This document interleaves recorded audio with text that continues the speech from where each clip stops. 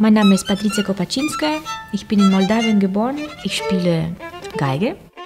Als Artist in Residence darf ich hier drei Konzerte machen. Und das dritte Konzert, das ist das Beethoven-Violinkonzert, auf das ich mich ganz besonders freue. Die Melodien sind wunderbar singbar. Das ist fürs Volk gedacht.